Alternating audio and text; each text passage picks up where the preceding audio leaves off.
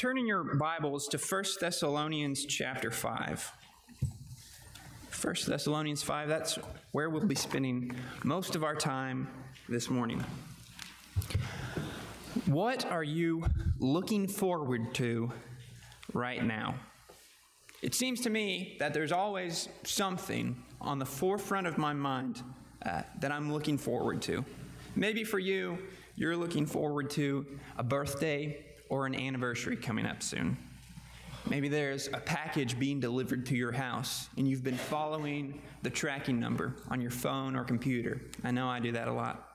Uh, perhaps you're looking forward to your favorite baseball team's next game. Uh, maybe you have a trip or vacation planned uh, that you're particularly excited about. Or it could be that you're just ready for this year to end. When we read the letters written by Paul to the church in Thessalonica, we read a lot about the day of the Lord, the return of Jesus, or what we commonly think of as the end of the world. And why is that? It's because the Thessalonians, the Christians in Thessalon- Thessalonica, they themselves were laser focused on the return of Christ. The Thessalonians were eager for Jesus' return. Uh, and this was good news to Paul because it meant that they were faithful to the things he had taught them. What the Thessalonians thought about the day of the Lord directed the way they lived their lives. And throughout the book of First Thessalonians, Paul commends these Christians for the way they lived. Let's read just a few spots in 1 Thessalonians. Start with me in chapter 1, verses 2 and 3. Paul wrote, We give thanks to God always for all of you, constantly, mentioning you in our prayers, remembering before our God and Father your work of faith and labor of love and steadfastness of hope in our Lord Jesus Christ. In chapter 3, he writes about the encouraging report Timothy brought back about the things going on in Thessalonica. In chapter 4, read with me verse 1. Finally, then, brothers, we ask and urge you in the Lord Jesus that as you receive from us how you ought to walk and please God, just as you are doing, that you do so more and more. Here, Paul is not criticizing or condemning the Thessalonians. He's saying, keep doing what you are doing. You are doing the right thing, do it more and more. In verse 9, Paul wrote, Now concerning brotherly love, you have no need for anyone to write to you, for you yourselves have been taught by God to love one another. The Thessalonians loved one another, and Paul said, That is great. Keep doing that more and more. Now, the Thessalonians, at the time Paul wrote this letter, they were doing great, but they were a little bit confused. They were ready for Jesus to come back. That's where their mind was. That's what they were thinking about. That's what they were looking forward to. Uh, but they didn't understand the return of Jesus completely. If you look at the end of chapter 4, uh, we read, They were afraid that their brothers and sisters who had passed away were going to miss out on the return of Jesus. They didn't understand it. Uh, they thought, they were pretty certain uh, that he was going to come pretty soon, and they weren't privy to the information and that we'd make it several thousand years before he returned. So they thought their brothers and sisters passed away would miss out on the return of Jesus. They were looking forward to the day of the Lord, but they didn't understand it completely. So Paul helps them understand in 1 Thessalonians 4, read with me verses 13 to 18. But we do not want you to be uninformed, brothers, about those who are asleep that you may not grieve as others do who have no hope. For since we believe that Jesus died and rose again, even so, through Jesus, God will bring with him those who have fallen asleep. For this we declare to you by a word from the Lord that we who are alive, who are left until the coming of the Lord, will not precede those who have fallen asleep. For the Lord himself will descend from heaven with a cry of command, with the voice of an archangel, and with the sound of the trumpet of God, and the dead in Christ will rise first. Then we who are alive, who are left, will be caught up together with them in the clouds to meet the Lord in the air, and so we will always be with the Lord. Therefore, encourage one another with these words. This is what the return of Jesus will look like. And this would have been especially encouraging to the Thessalonians. Paul's description would have uh, filled the Thessalonians with even more excitement for the return of Jesus. They were already looking forward to it, but knowing that their dead brothers and sisters would be raised and join them in the air with the Lord, uh, that was something to keep them going even more and more. And this is what Christians have continued to believe and anticipate for over 2,000 years. And as we looked at, Paul repeats over and over again to the Thessalonians they were living right. He encouraged them to keep looking forward to Jesus' return and to keep living like they were looking forward to Jesus' return. Is the return of Christ, the day of the Lord, something you often think about? Are you excited and ready for the day of the Lord? Or does it give you a feeling of dread? Maybe third option, you just don't think about it that much. If you feel either dread or nothing at all about the return of Jesus, what does that say about your faith? What do you think about the return of Jesus? And more importantly, how does that impact how you live? Studying the Thessalonians, we see uh, that they lived looking forward to Jesus' return. The Thessalonians lived looking forward to the Lord's return. Since Paul encouraged them to keep living how they were living, that signals to us we should want to be like them. There's something special there. That's the kind of faith that makes the day of the Lord something to look forward to, not something to dread or dismiss. You and I must live looking forward to Jesus' return. And what does that mean practically for us? Read with me what Paul said the Thessalonians were doing right in 1 Thessalonians chapter 5, and let's commit to doing these things together. We're going to study the first 11 verses, but right now let's just read through verses 1 through 4. 1 Thessalonians 5, 1 through 4. Now, concerning the times and the seasons, brothers, you have no need to have anything written to you. For you yourselves are fully aware that the day of the Lord will come like a thief in the night. While people are saying there is peace and security, then sudden destruction will come upon them as labor pains come, up, come upon a pregnant woman, and they will not escape. But you are not in darkness, brothers, for that day to surprise you like a thief. The first thing we must do as Christians to live looking forward to Jesus' return is to be aware. Be aware that the day of the Lord will come like a thief in the night. Paul wrote to the Thessalonians in verse 2, he said specifically, You yourselves are fully aware. If you're reading from the King James Version, it says, You yourselves know perfectly. The Thessalonian Christians, they knew that they couldn't predict when Jesus would return. They just knew that he would return. And this is a concept that these Christians had down pat. They didn't need correcting, they didn't need convincing. Their full awareness of the times and seasons of Christ's return determined how they lived. And Paul uses here in these verses two ideas to illustrate the time of Jesus' return. The day of the Lord will come like a thief in the night, and as labor pains come upon a pregnant woman. Jesus will return when people are least expecting it. His return is going to catch people off guard. The imagery of a thief in the night here is not unique to Paul. We see it throughout the New Testament, uh, and the Lord Himself used the same illustration decades earlier. If you would, keep 1 Thessalonians 5 marked and turn to Matthew chapter 24. Matthew chapter 24.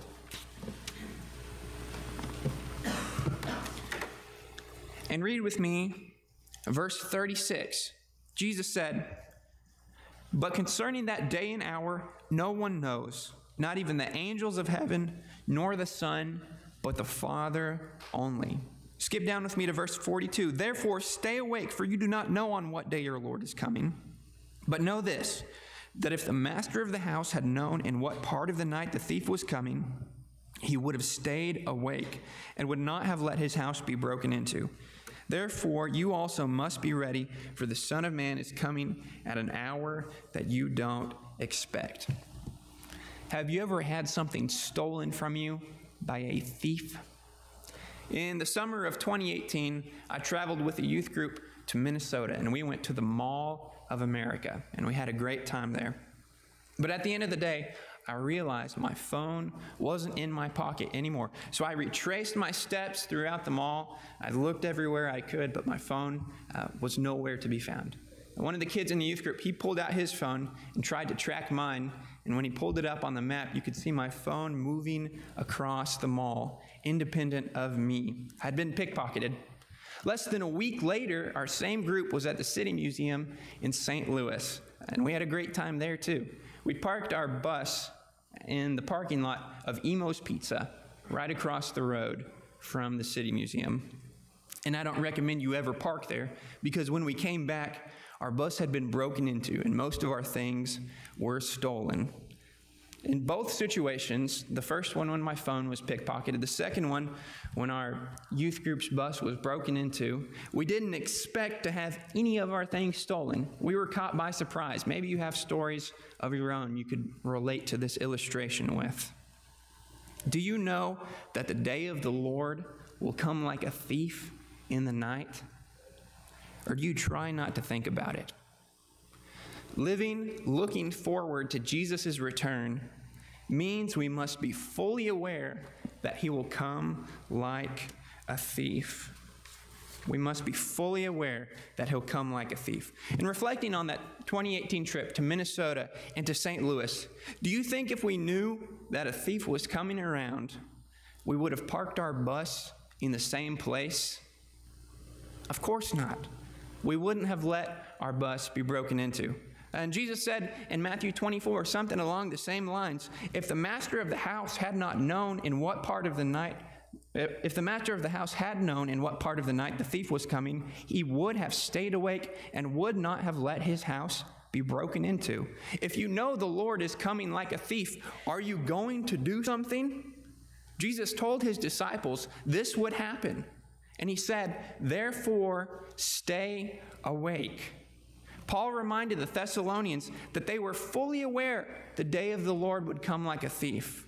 And he encouraged them with the same words Jesus did to encourage his disciples. So then, let us not sleep as others do, let us keep awake. In essence, both Paul and Jesus were saying this. Because you are fully aware of this truth, this is what you need to do keep awake. The second thing we have to do to live looking forward to Christ's return is to be awake. Be awake so that day will not surprise you. Read with me back in 1 Thessalonians 5, verses 4 through 7. 1 Thessalonians 5, starting in verse 4. But you are not in darkness, brothers, for that day to surprise you like a thief. For you are all children of light, children of the day. We are not of the night or of the darkness. So then, let us not sleep as others do, but let us keep awake and be sober. For those who sleep, sleep at night, and those who get drunk are drunk at night. Since the day of the Lord is coming like a thief, be awake. And Paul wrote about the Christians You are not in darkness for that day to surprise you like a thief. Those who aren't in Christ, those who don't anticipate his return, they're spiritually asleep. So when that day comes, sudden destruction will come upon them. They're going to be surprised. But Christians are aware and anticipate the return of Christ. They're spiritually awake. Paul says in verse 4 that day will not surprise you like a thief. Christians won't be surprised when Jesus comes back. We're expecting his return. We know Jesus is coming soon. And because of this, Paul refers to Christians as children of the light, children of the day. If you're identified as a child of the light or a child of the day, your identity comes from being spiritually awake. When we're spiritually awake, we see things how they are. We know what's spiritually real and true, and we have the capacity to respond to those truths. Paul wrote, Let us not sleep as others do. What does it mean to be spiritually asleep? It means we're oblivious to the truth. And when we're oblivious to the truth, we can't respond to it. So Paul said, Let us keep awake. If we're looking forward to the Lord's return, we will be spiritually aware so that we know the Lord is coming. We will be spiritually awake so that we can respond to his coming. And the final thing we must do to live looking forward to Christ's return is to be alert. We will be alert as a response to what we know. Be alert so that you're ready for the Lord's return. Read with me 1 Thessalonians 5, starting back in verse 6. So then let us not sleep as others do, but let us keep awake and be sober. For those who sleep, sleep at night, and those who get drunk are drunk at night. But since we belong to the day, let us be sober, having put on the breastplate of faith and love, and for a helmet, the hope of salvation. Since we belong to the day, let us be sober. Sober mindedness, clear thinking, and unclouded judgment uh, is imperative to Christian living. One of the worst nights in my life ever was working in a restaurant uh, alongside a drunk woman, a drunk person who was my coworker. And as orders piled up and as we were getting behind on this busy night, instead of making progress, we just moved backwards. Uh, this person kept making mess after mess after mess. Her mind was not in a place to work. And that's why drunkenness is a sin. Thinking spiritually, it impairs our minds from doing the Lord's work. Ben Giselbach wrote in an article earlier this year on drunkenness Maintaining your sobriety is one of the most critical elements of the Christian life. The sober man digs into Scripture. He considers the long term spiritual consequences of his actions rather than the short term physical pleasures. He labors over decisions because holiness is hard mental work. He weighs his actions and doesn't act hastily without the thought. He refuses to go with the crowd or subscribe to the philosophy of the day. In contrast, you don't need to use your brain much to sin. You don't need to use your brain much to sin. If you're drunk, you're not going to be able to do your job. If you're sober, there's nothing in the way. You should have no problem. Paul writes, having put on faith, love, and hope. Since we belong to the day, let us be sober, having put on faith and love as a breastplate and as a helmet, the hope of our salvation. These are our work clothes. This is what we wear to live for the Lord. Faith, hope, and love are often mentioned in tandem together in Paul's writings, and they should be seen worn by every Christian. And Paul relates each of these virtues to an honor, to a piece of armor. Faith and love are a, a breastplate, and the hope of salvation is a helmet.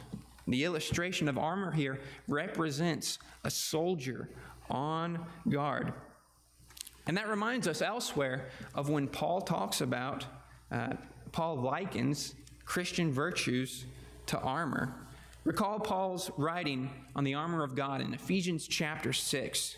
What is the value of Christian armor? Paul answers in verse 11 Put on the whole armor of God that you may be able to stand against the schemes of the devil.